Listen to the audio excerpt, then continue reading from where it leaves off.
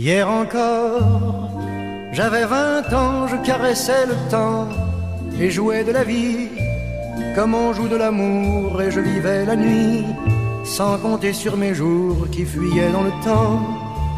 J'ai fait tant de projets qui sont restés en l'air, j'ai fondé tant d'espoirs qui se sont envolés, que je reste perdu ne sachant où aller, les yeux cherchant le ciel, mais le cœur mis en terre. Hier encore, j'avais vingt ans, je gaspillais le temps en croyant l'arrêter et pour le retenir, même le devancer. Je n'ai fait que courir et me suis essoufflé, ignorant le passé, conjuguant au futur.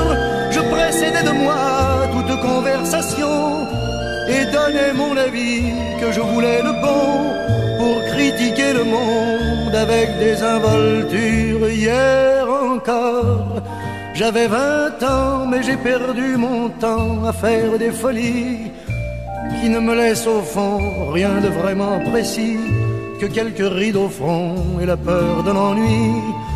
Car mes amours sont mortes avant que d'exister, mes amis sont partis et ne reviendront pas.